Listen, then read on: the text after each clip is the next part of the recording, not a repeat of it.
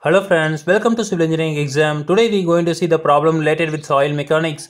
Uh, so the problem is a 3 centimeter thick soil stratum has coefficient of permeability is 3 into 10 power minus 7 meter per second. A separate test gave the porosity of 40 percentage and the bulk unit weight is 21 kilonewton per meter cube. At the moisture content of 31 percentage so determine the head at which the upward seepage will cause the quicksand condition. So this is the question. So the given value is so given the permeability k equal to 3 into 10 power minus 7 meter per second then porosity n equal to 40 percentage that is 0.4 then unit weight bulk unit weight equal to 21 kilonewton per meter cube then moisture content w equal to 31 percentage that is 0.31 so these are all the given. So we have to find out the h value. So that is the uh, so there is a head at which upward seepage.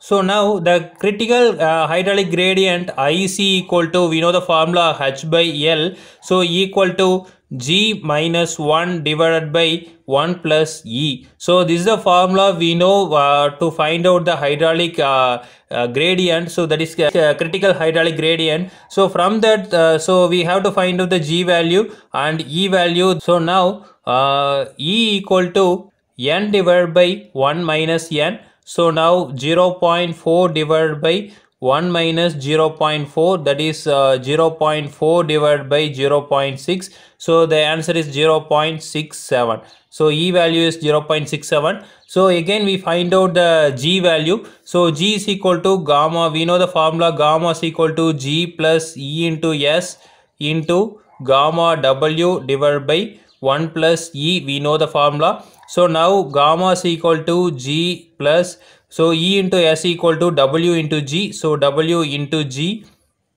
into gamma W divided by 1 plus E. So from the relation we know E into S equal to W into G. So from that relation we can substitute W into G over here.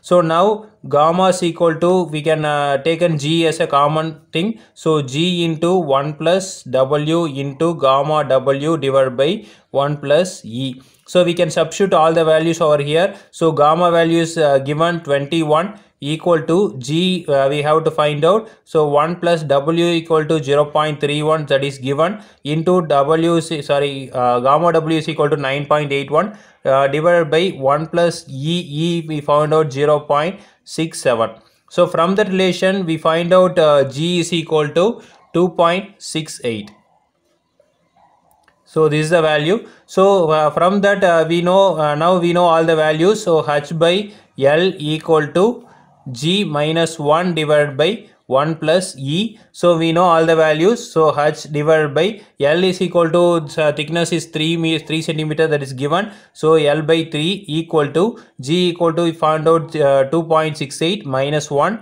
divided by 1 plus e equal to 0.67 so now h is equal to so solving this equation we got the value h is equal to uh, 3.018 meter so this is the head uh, at which the upward seepage will cause the quicksand condition. So 3.018 meter is the answer. So again we will see next video. Thank you